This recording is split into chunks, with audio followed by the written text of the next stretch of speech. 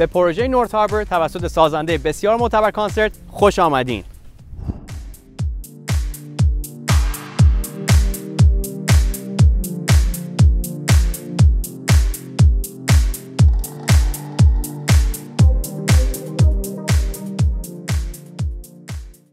فاز که پروژه نورس هاربر به اسم درفت آگست 14 شروع به فروش می‌کنه و تعداد محدودی یونیت های یک خوابه دو خوابه سه خوابه و تاون هوم رو به آب دارن و قیمت ها فقط و فقط از 660 هزار دلار شروع میشه. بریم که ویو آب خونه شما رو ببینیم.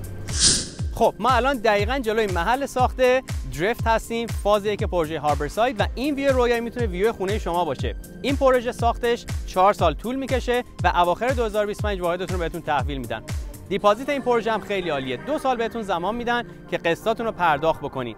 اگر علاقه‌مند هستین که این view رو برا خودتون بگیرین جالبه بدونین که تقاضای بسیار زیادی برای این پروژه هستش و واحدهای محدودی بهتون این ویو رو میده. پس همین امروز برای VIP access با من تماس بگیرید. مرسی.